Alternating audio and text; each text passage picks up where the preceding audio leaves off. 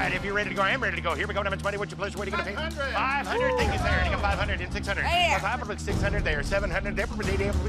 Nine now. 800. 900. Are you nine? Nine. $1,000 where? 1000 1,000, sir. $1,000. 11. 1,000. 11. 11. 11. 12. 1200. 1300. Yeah. 13. What about 13? What about 14? Oh, look at Mary. What about 14 to you? 13. 14. What about 14? How much? Have half? 13 and a half. What about 14, Mary? What about 14? There. What about 14, 50, sir? 14. Think we got 1400. Going once. 1450. Going twice. Sell it your way, Mary. Got it for 1400, Mary.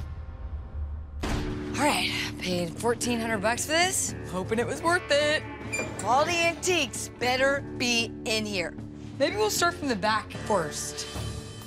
Now this, I mean, first thing I got, look at that, as a platter or for decor. So I'm gonna say 50 bucks on this thing. Yeah, it's like mid-century modern bases, you know, quirky, antique fun stuff. What? I don't want to look at it because what if it's really good and I'm sad? So this box I'm gonna say is like 100 bucks at least. There goes another one. These must be good antiques if they break this easily, right? So this cute little fancy tea set, 40 bucks. For winter weather, so long as we two can be together. Romance! So cute. And I love the design. I mean, frame this, 50 bucks. And I think there's some vintage material, 40 bucks. Giant Christmas ornaments. Oh. um, not 2015 now, I guess. Let's see what's in here. Oh, an old little phone. You know, this is cool. A little vintage box. Some more silver stuff. This box, 150 bucks. Um, it's a cool little trunk. It looks maybe like it was handmade, you can tell. 100 bucks. Ooh, sounds like money or jewels. Ooh, secret compartments. So cute. It's a little calligraphy set, like where they used to write their beloveds off at war and stuff on cute paper and stamp it with wax. The inkwell thing is so neat. There's the marking right there. So I'm gonna um, take this thing to get checked out. I'm a sucker for romance and history and antiques. Here's those binoculars. These are so neat. I'm gonna say 30 bucks for these. These are cool. Let's see. So cute. Look at these dolls.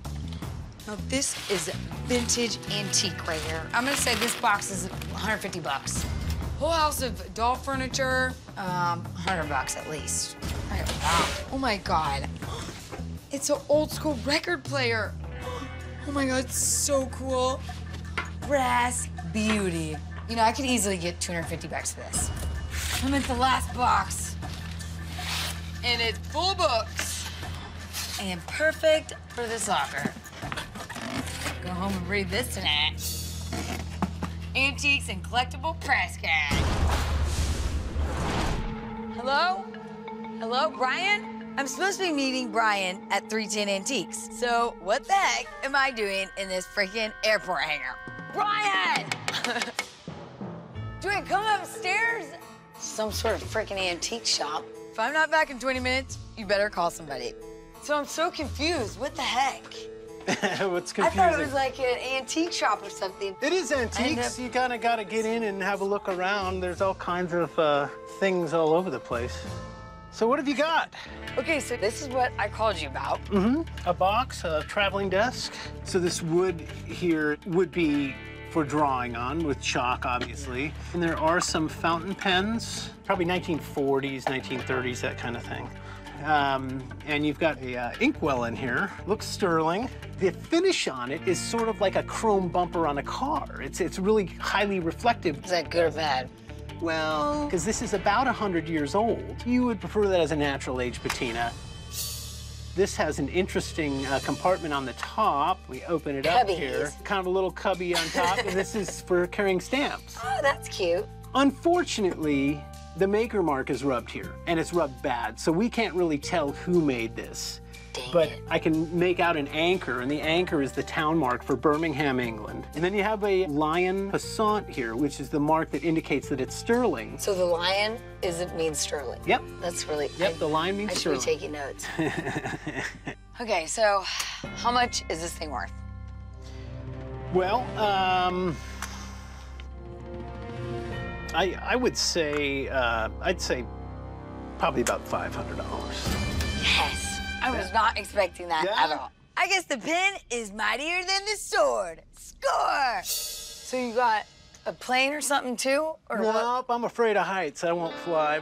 But uh, everybody knows where the airport is, so it's easy to you know say how to get here. Okay. Hear me?